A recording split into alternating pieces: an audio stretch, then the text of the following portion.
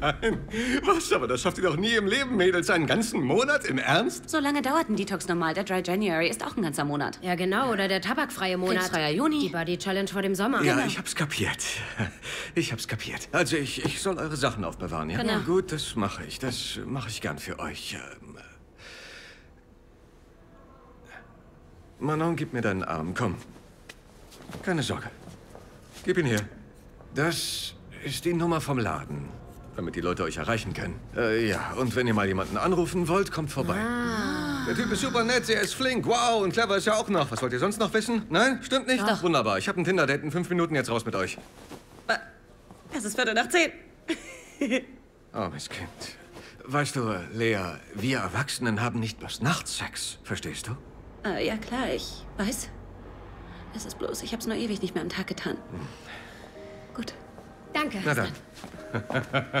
Das schaffen die nie im Leben.